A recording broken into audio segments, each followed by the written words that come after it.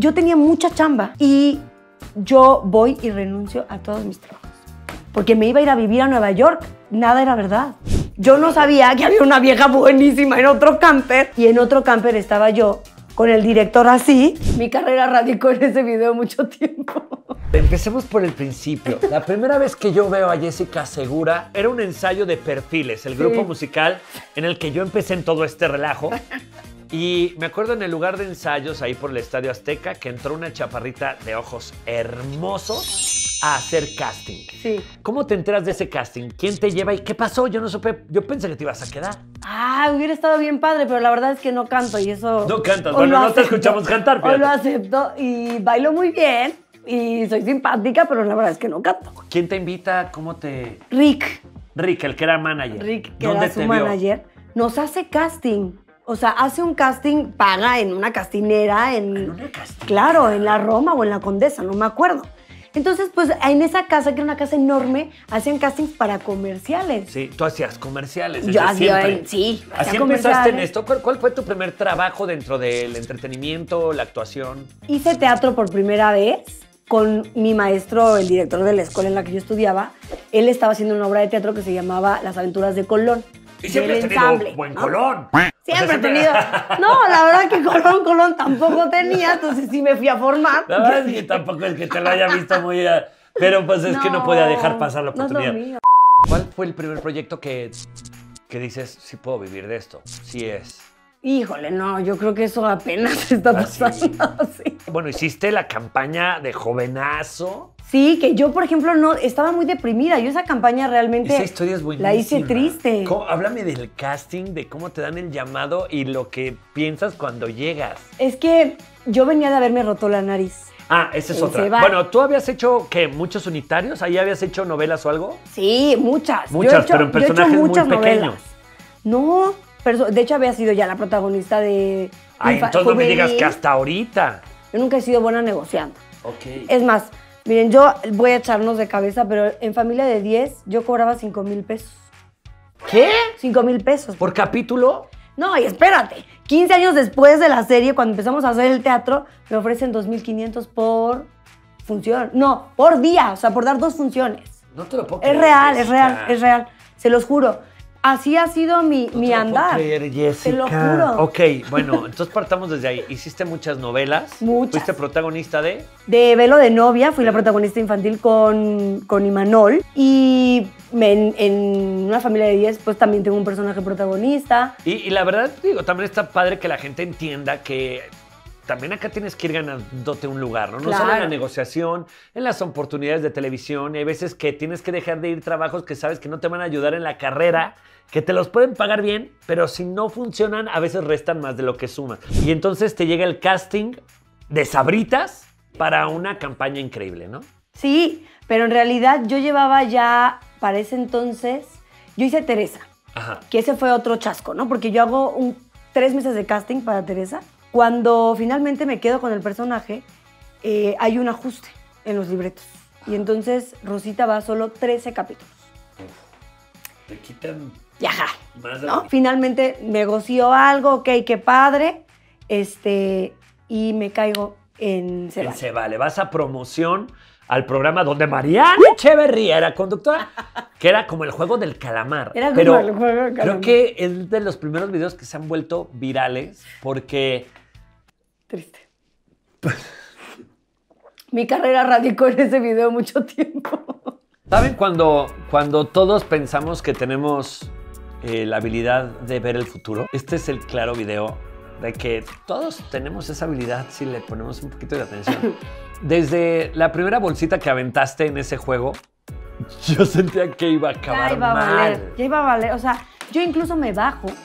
Es Sí, que como que tú ya habías dicho ya, ya, vivo, ya, y sí. te avientan. No, no, no, vas, otra vez, No, otra. es que no se ha acabado el tiempo, ¿no? Y entonces se y, tú, escuchaba un... y tú tratando de, de amablemente negociar en vivo el no me hagan ir otra vez allá, ¿no? Y además se ve un poquito, no sé.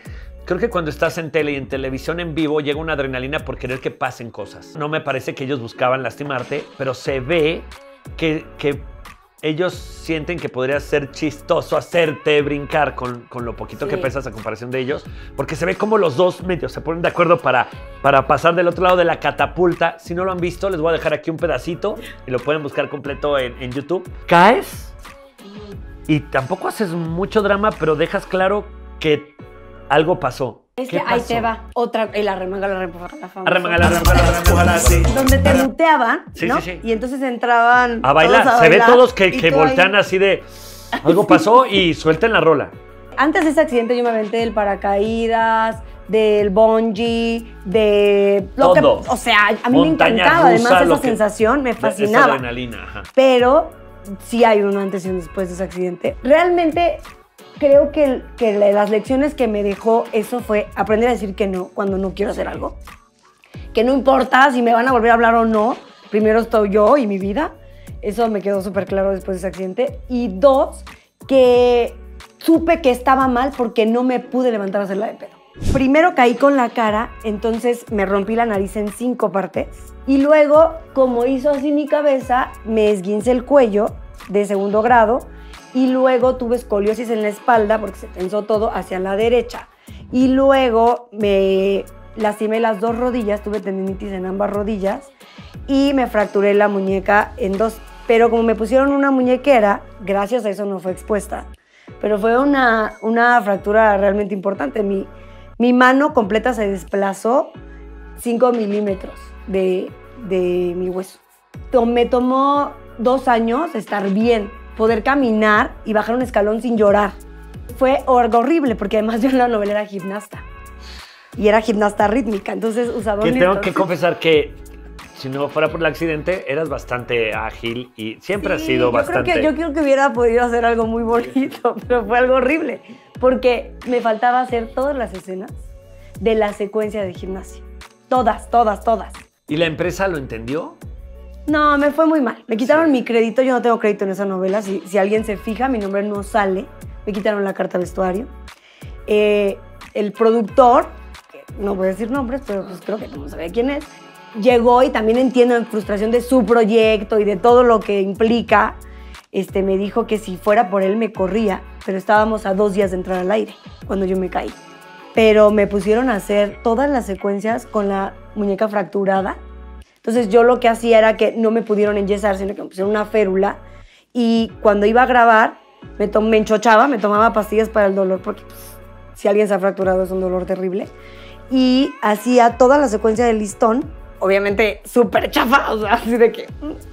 Y corte, me ponían otra vez la férula, yo lloraba y lloraba, y me volvían a dar algo para el dolor y seguía grabando. Entonces empiezo a hacer comerciales, regreso a los comerciales porque dije, pues tengo que comer. Así llego yo al casting de Sabritas. Fue súper raro porque estaba deprimidísima, Faisy. Yo decía, yo soy actriz. ¿Qué hago aquí otra vez, Dios Además mío? llegaste y, y puras modelos de 1,80. Unas sabrosísimas, güeras, todas así de dos metros y yo, ¿no? De unos 50, rara de la cara. Entonces, ¿no? Y entonces yo la verdad pensé que se habían equivocado en mi casting. Y voy con la recepcionista y le digo, oye, es que, este, qué pena, pero es que creo que está, estoy mal, creo que no doy el perfil. Y entonces ella se pone a leer y me dice, no, pues actrices, este, latina, ok, este, ¿eres actriz? Sí. Ah, no, pues quédate. Y entonces me espero, paso la- al casting y ahí viene la siguiente, siguiente chasco, que dije, no, esto es una broma, yo no sé qué hago aquí. Ok, entonces vas a seducir a la cámara, ¿no? Y entonces ya que le hayas seducido, no sé qué, le quitas sus papas. Y yo, yo seducí, yo. Sí. ¿Te cae? Sí. Oye, pero no es una policía? Sí. ¿Es mexicana? Sí. Ok. Entonces yo rápidamente pensé, prefiero que digan, esta pendeja no entendió el casting, a que digan, ¿qué está haciendo? ¿No? O sea, ya me veía yo como... Sí, dije, hiciste no. Medio, medio este personaje de policía entrona. Policía, pues ¿qué es una policía en México? Sí, sí, sí, entrona. Me voy a aventada. agandallar. Y con William Levy. Y con William Levy. Que de yo moda. en ese momento no, no tenía idea de que era William Levy precisamente. Entonces, a ver, güerito, bájese del coche. Y entonces, ¿qué onda? Y le quitaba sus papas y me fue. Obviamente, nadie hizo ese mismo casting. O sea, ni siquiera lo que pidieron, pues. Y resulta que en la tarde me hablan. Yo dije, no, bueno, estos tan idiotas, ¿o qué? Tan peor que yo. Sí, a lo mejor se equivocaron. Entonces Soy yo, la chaparrita. Oye, ¿estás, ¿estás bien? Soy Jessica Segura, la de unos 50, la que... Sí, sí, sí. Es que, ¿qué crees? Que al director le encantó tu propuesta. O sea, como que ahí sí ya entendieron. Ni... No, no entiendo qué Sí, está como que dijeron, pasando. oye, pues no estaría mal que, que así sea la policía. Pues después de años me enteré que realmente fue un volado del director. Y que cuando yo llegué, la marca se le fue encima y le dijeron, ¿qué te pasa? O sea, nos vendieron esto, ¿no? Porque había un creativo que había hecho una campaña donde una modelo prácticamente, pues le quitaba las papas a, a William William Levy. Levy. Y llegué yo. Yo llego con la marca en un vuelo y, ay, ¿tú también vienes? Sí, ay, qué chistoso. ¿Qué vas a hacer? La poli. Güey, ¿no? O sea, ya después supe que fue un tema. Sí. Bueno, el director les dijo, bueno, dame chance. Ve la mañana y llevemos al backup. Yo no sabía que había una vieja buenísima en otro camper, güera y así, para lo que ellos realmente tenían aspectado para la campaña. Y en otro camper estaba yo con el director así, de por favor que esta niña funcione, porque imagínate que resulta que me vendió a mí wow y, y no, no da el ancho. Y repitió y fueron, fue una campaña. Y después me hablaron y me dijeron, oye, podemos hacer una campaña completa y luego hicimos cuatro años de campaña. Jovenazo, De la jovenazo. Y, y ahí te abre puertas. Una campaña así te abre Mucho. De pronto ya era una locura porque entonces en hoy decían, ¿quién es la poli? Y entonces después en otro programa de chismes decían, es Charlene. Y entonces en otro programa decían, no, no, es Angelique Boyer. Y entonces yo decía, no, soy yo. Ahora digan qué onda. Ya me deshinché, ya me desinflamé. te casas. Mi casa. ¿Por qué? O sea, después de que ya estaba recuperada, dijiste, este es, güey, es- si estuvo aquí ahora. Sí. ¿Cuánto tiempo duraste casada? Tres años. ¿Y qué es lo que hizo que dijeras, no, ya, ya? No, ¿Hubo una traición? ¿Hubo algo ahí? hubo muchas traiciones, muchas traiciones. ¿Te puso el cuerno? Me puso el cuerno feo. Feo, Y no te enterabas. No me enteraba, pero él no trabajaba, Fay. Primero, él me, me traicionó en el sentido que a mí me dijo que nos teníamos que casar con prisas porque él se iba a ir a trabajar a una embajada en Estados Unidos. Entonces, Ocho años de, novios, tres de casados. tres de casada. Pero ahí ya yo no, no me podía haber imaginado la calidad de historia que era esta. O sea, un tipo que mintió diciendo que pertenecía a un trabajo que Que no ni lo conocía. ¿Tú algún día dudarías de tu pareja ir a preguntar, por ejemplo, al servicio exterior, No, oye, ¿lo conocen? No hay manera. Claro que Vale. no. Entonces yo, ah, perfecto, sí. O sea, yo maleta. Porque no era necesario que lo dijera. ¿No? O sea, al final esas mentiras no eran necesarias. No. Después de ocho años, pues estás desempleado, no importa que nos casamos. Me da igual. Yo tenía mucha chamba y yo voy y renuncio a todos mis trabajos. ¿Por él? Porque me iba a ir a vivir a Nueva York y nada era verdad. ¿Cómo te enteras? Me, me cayó todo, todo así. Todo el balde me cayó completito. ¿O, o qué idea tenía él? ¿Cuál era su estrategia para que no te enteraras? Te juro que a la fecha no lo sé. Fay, llegaron a mi casa sobres con logo de presidencia. Ay, no, pues No, ha de haber por Dios. divertido mucho haciendo sellado. tanta Pues yo creo que ha de estar, la verdad que mala onda Oye, que lo para diga, mandarte pero- sobres membretados, Mal, mal. que además a ti ni Y, qué se- chingados y te firmados por el interesa. presidente, que tú crees que yo algún día cotejé las firmas. Claro que ya no. me. ¿El divorcio fue este, difícil? Horrible. Cuando yo ya veo que todo lo que vi era una mentira, lo que te puedas imaginar, todo era mentira. Todo. Pero además también tenía otra novia que a la que le dijo no sé qué cantidad de mentiras acerca de nuestra relación. ¿Tú no, no la conocías? No, no, No, yo no, no, ni nunca la he conocido y no la quiero conocer. Ellos ahora están casados y todo. Se volvió a casar. Sí, sí, sí. Y se casó un 26 de enero. O sea, yo no sé, algo, te juro que algo está mal. Wow, Pero bueno. esta historia está como no, para es hacer una terrible. novela. Yo me quiero el divorcio, no sé qué. Cuando vi que él como que dudaba y me mandaba flores, entonces uno otra vez obviamente siente que qué estoy haciendo, estoy bien. Te hizo dudar, pero te Me hizo dudar muchísimo, pero a mí me hablaba, haz cuenta que tú. Jess, ¿qué onda? Oye, ya tu güey con una vieja en, una- en tu camioneta. ¿No? Y yo, ahí decido bye, pero él como que me decía, no, vámonos de viaje, piénsalo Sí, sí, bien. sí, sí, eh, tratando de rescatar. Entonces, la verdad que ahí va mi parte vengativa y en la que ya, ya no me vas a mentir dos veces, o ya sé quién eres. Pues en resumen, ya fue la mía. Yo también soy actriz. Más, más yo, yo sí soy actriz. Le jugué la carta de, mira, yo estoy muy lastimada y yo soy una romántica. Tú lo sabes. Vamos a darnos chance. Fírmame el papelito. Porque aparte yo estaban por entregarme mi departamento, Fay, que yo lo he comprado con años de trabajo.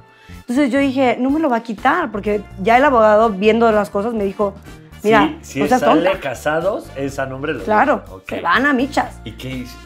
Entonces yo le dije, mira, yo, por, el- por nuestra historia, por bla, bla, bla, Dame tiempo, Este, fírmame el divorcio fírmalo. y nos volvemos a casar. nos reenamoramos. O sea, le volvemos a echar ganas y si tú y yo este, podemos, pues órale, más adelante. Y te firmó y bye bye. Claro, pero él no sabía que yo sabía todo lo del Claro. Senado y, y tantas cosas Ay, que no. sabía. complicado. ¿Dónde conoces por primera vez a Lalo? Yo hice simuladores con él. Ok.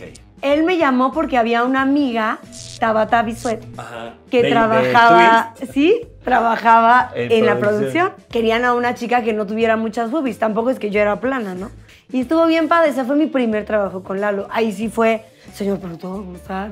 ¿Cómo te ofrece Me Caigo? Fue Lalo. bien bonito, Fay, porque resulta que después de que termina la temporada, se van dos elementos, creo. Sí. Y ustedes tienen una junta y lo que Lalo me dice, nunca he preguntado si es verdad o no, pero yo le creo. Propusimos a Jessica Que los hermanos eh, fueron los de los que Dani, propusieron. Dani a también ha sido una Dani. constante propuesta, pero sí, muchos hablamos de Jessica Segura. Sí, y y, tú dices que sí. Mi corazón late, porque el saber que vas a trabajar con personas que son amigos y que además quieren trabajar contigo, está bien padre. De las expectativas que tenías antes de Me Caigo a cuando entras, ¿se cumplieron?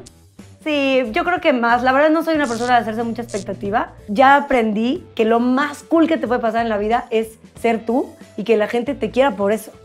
Es- esta es la primera Te vez. juzgabas muchísimo, Enrique. Sí, y esa es la primera vez que estoy en televisión que no tengo que preocuparme por aprenderme un texto, que no tengo que preocuparme por estar derecha, chueca.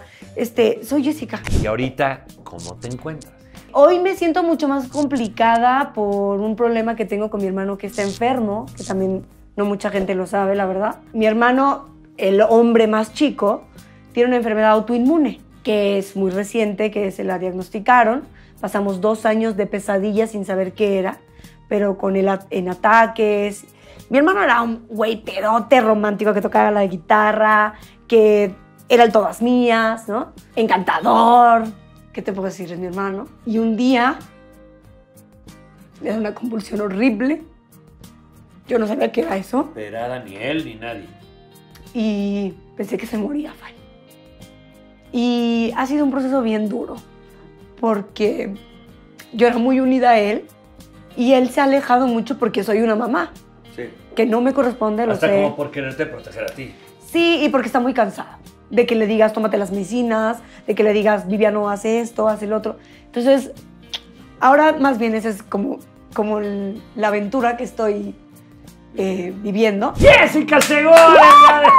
Ay. Jessy, gracias por venir. Amigo, te amo Y sin gracias control. en verdad por, por los momentos, los fines de semana, las lágrimas, las sonrisas que me has regalado. Y nada, sigan, me caigo de risa, que próximamente vendrá gira y cosas así. Gira. Claro, tendrá que haber gira, no, obviamente. Salud, suscríbanse, bye.